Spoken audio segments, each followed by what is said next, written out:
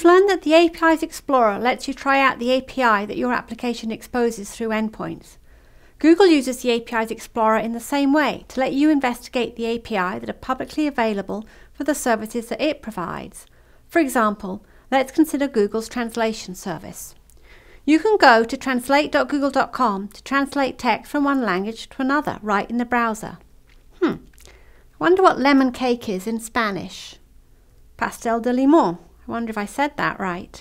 You can use a browser like this to do translations, but you can also write applications that do translations using the Translate API. And you can try out the Translate API using the APIs Explorer. It's easy to find the APIs Explorer for Google's public APIs.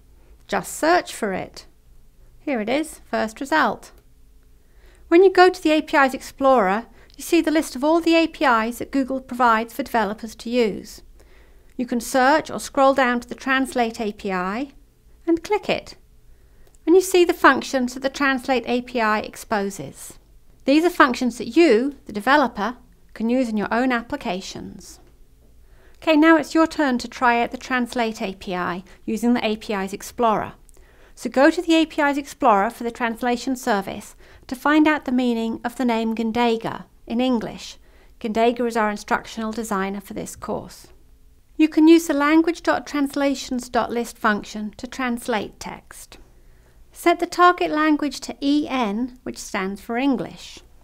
When you've figured out what Gundega means in English, write it in this text field here. When you submit a translation, you can tell the translation service what the source language is, or you can let it try and figure out the source language for itself. So one more thing for you to figure out is what is the source language for Gundega. When you've figured that out, go ahead and check the appropriate checkbox.